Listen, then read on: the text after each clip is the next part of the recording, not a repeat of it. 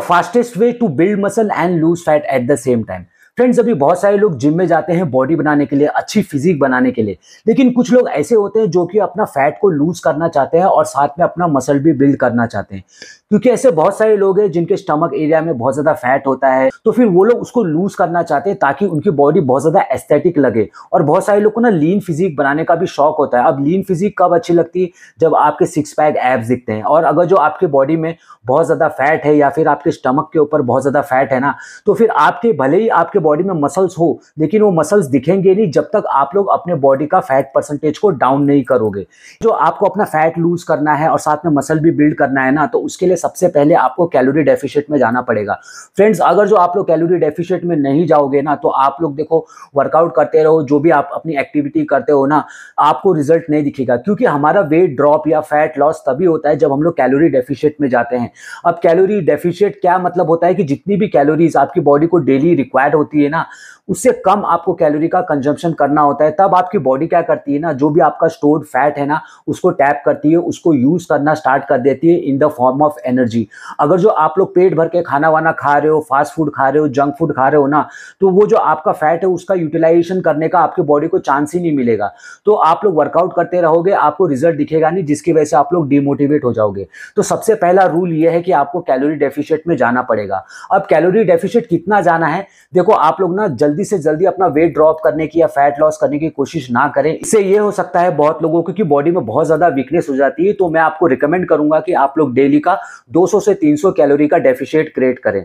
अब इसके बाद आप लोग क्या कर सकते हो? आप लोग ना कार्डियो को इंक्लूड कर सकते हो। देखो कार्डियो क्या करेगा? तो उस टाइम पर भी आपकी ना बॉडी फैट को यूज़ करती है फॉर एनर्जी अगर जो आप लोग वर्कआउट करते हो ना तो उस टाइम पे जो हमारा प्राइमरी सोर्स ऑफ़ एनर्जी होता है, वो कार्बोहाइड्रेट होता है। लेकिन अगर जो हम लोग कार्डियो करते हैं वॉकिंग करते हैं रनिंग करते हैं, या फिर जॉगिंग करते हैं ना तो उस टाइम पे जो भी एनर्जी के लिए हमारी बॉडी यूज़ करती है ना, वो फैट को यूज़ करती है। अब जो नेक्स्ट पॉइंट है कि आप लोग ना बाहर का जंक फ़ूड और प्रोसेस फ़ूड को खाना बंद करो और घर में भी जो आप खाना खाते हो ना, वहाँ पे भी ऑयल की मात्रा को कम रखो। देखो, एक टेबल स्पून ऑयल में ना बहुत ज़्यादा कैलोरी होती है। हम लोग समझते हैं कि एक टेबल स्पून ऑयल से क्या फ़र्क पड़ता है। लेकिन ये मैं आपको कहने के लिए बोल रहा हूँ, ऐसा नहीं कि बिल्कुल भी आपको कंप्लीटली ऑयल खाना ही नहीं है। आप थोड़ा बहुत ऑयल को रख सकते हो, लेकिन थोड़ा क्वांटिटी को ध्यान में रखते हुए। और फास्ट फ़ूड और प्रोसेस फ़ूड तो बिल्कुल बेकार होते हैं। वहाँ पे तो देखो ऑयल की मात्रा सबसे पहले तो बहुत ज़्यादा होती है। और वहाँ पे देखो न्यूट्रिशन कुछ आपको मिलता नहीं है। पूरा का पूरा कार्बोहाइड्रेट मिलता है और फैट्स मिलते हैं ना। प्रोटीन वहाँ पे कुछ होता नहीं है। उसके बाद आपको अपनी डाइट में ना हाई प्रोटीन फ़ूड को इंक्लूड करना है। देखो फ्रेंड प्रोटीन में क्या होता है ना, उसका थर्मिक इफ़ेक्ट बहुत ज़्यादा होता है। अब थर्मिक इफ़ेक्ट से क्या होता है कि ना, जो भी प्रोटीन आप लोग लेते हो, उसको डाइजेस्ट करने के लिए कितनी एनर्जी या कितनी कैलोरीज आपकी बॉडी यूटिलाइज करती है ना, उसको हम लोग थर्मिक इफ़ेक्ट बोलते हैं। और प्रोटीन का थर्मिक इफ़ेक्ट बहुत ज़्यादा होता है as compared to carbohydrate and fat अभी बहुत सारे लोग को ये लगता है ना कि प्रोटीन केवल मसल बिल्ड करने के लिए यूजफुल होता है। तो फ्रेंड्स मैं आपको बता देना चाहता हूँ कि फैट लॉस में भी प्रोटीन का बहुत ही इंपॉर्टेंट रोल है। क्योंकि ना, मैं भी एक टाइम पे बहुत ज़्यादा ओवरवेट था। मैंने भी अपना वेट लॉस किया, अपना फैट लॉस बहुत ज़्यादा किया है। तो मुझको पता है कि प्रोटीन बहुत ज़्यादा हेल्प करता है। अब प्रोटीन के लिए देखो, आपके पास नेचुरल फ़ूड भी है, जैसे कि अपना सोयाबीन, पनीर, दाल, चिकन, फ़िश, एग, मीट, ये बहुत सारे फ़ूड है। इसके अलावा आप लोग वे प्रोटीन का भी सहारा ले सकते हो। ये सब चीज़ को मिला के आप लोग डेली की प्रोटीन रिक्वायरमेंट को कंप्लीट करें। अब रोज़ाना आपको कितना प्रोटीन लेना चाहिए? आपको डेली 1.5 से 2 ग्राम पर केजी ऑफ़ या बॉडी वेट प्रोटीन लेना चाहिए।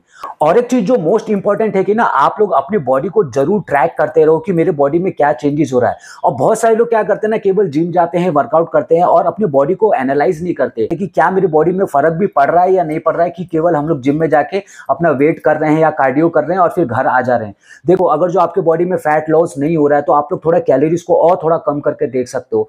जो लोग भी बल्कि वर्किंग करना चाहते हैं, वो लोग थोड़ा अपने कैलोरीज को बढ़ा दो। ये सिंपल सा फॉर्मूला है। लेकिन एक बार में आप लोग ज़्यादा कैलोरीज को डाउन मत करो। मैं बहुत सारे लोग को ऐसे देखता हूँ, जो लोग ऐसा करते हैं और बाद में ना वो लोग पूरी तरीके से ना अपना डाइटिंग वाइटिंग सब कुछ छोड़ देते हैं। वो लोग बोलते हैं कि भाड़ में जाए, हम लोग अपना सिंपल जिम करेंगे, हमको नहीं चाहिए एस्थेटिक फिजिक तो देखो धीरे धीरे अगर जो आप लोग करोगे ना तो आपका फैट लॉस भी होगा, आपके बॉडी पर ज़्यादा प्रेशर भी नहीं पड़ेगा और आप लोग ना उसको लॉन्ग टर्म के लिए सस्टेन कर पाओगे। अब अगर जो मसल बिल्ड करने की बात करें तो देखो, आपको सबसे पहले तो वर्कआउट रेगुलर करना है। अब बहुत सारे लोग क्या करते हैं कि तीन महीना जिम जाते हैं। बाकी दो महीना जिम छोड़ देते हैं। तो फ्रेंड्स अगर जो ऐसा करोगे ना तो सबसे पहली बात, जो भी आपने फैट लूज किया होगा ना, इतने महीनों में वो सभी से फिर से रिगेन हो जाएगा। इसलिए हमको वर्कआउट रेगुलर करना होता है। अब इसके बाद आप लोग जो भी एक्सरसाइज करते हो ना, वहाँ पर आप लोग माइंड मसल कनेक्शन के साथ करें और ओवर ट्रेनिंग ना करें। बहुत सारे लोग क्या करते हैं ना, जल्दी से जल्दी मसल बिल्ड करने के लिए या जल्दी से जल्दी लीन एस्थेटिक फिजिक बनाने के लिए ना, या तो ज़रूरत से ज़्यादा वर्कआउट कर लेते हैं या फिर ज़रूरत से ज़्यादा कार्डियो कर लेते हैं। देखो कार्डियो करने की भी एक लिमिट होती है। और फ्रेंड्स मैं आपको बता देना चाहता हूँ, अगर जो आपको फैट लूज करना है, साथ में मसल बिल्ड करना है ना तो आपको दोनों चीज़ करना है। बहुत सारे लोग क्या करते हैं, जिनको लीन एस्थेटिक फिजिक बनानी होती है ना, वो लोग केवल कार्डियो पर बहुत ज़्यादा फोकस करते हैं। तो फ्रेंड्स ऐसा नहीं है। अगर जो आप लोग केवल कार्डियो ही करोगे तो जो भी आपके मसल्स होंगे ना, वो लूज होना शुरू हो जाएँगे। तो इसलिए आपको वर्कआउट भी करना है, साथ में कार्डियो भी करना है। अब रोज़ाना आपको कितना कार्डियो करना है? आप लोग थर्टी मिनट से लेकर फोर्टी फाइव मिनट्स रोज़ाना कार्डियो करें।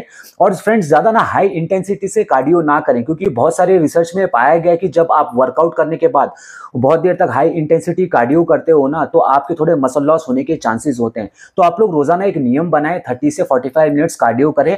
वॉकिंग करो आप लोग, थोड़ा इंक्लाइन कर सकते हो, लेकिन आराम से आप लोग ना वॉकिंग करो। वॉकिंग ना, बहुत सारे रिसर्च में ये भी देखा गया कि walking is one of the best way to lose body fat अब उसके बाद आपको वर्कआउट कितनी देर करना है? वर्कआउट भी देखो, बहुत सारे लोग क्या करते हैं, दो घंटा, डेढ़ घंटा जाते हैं।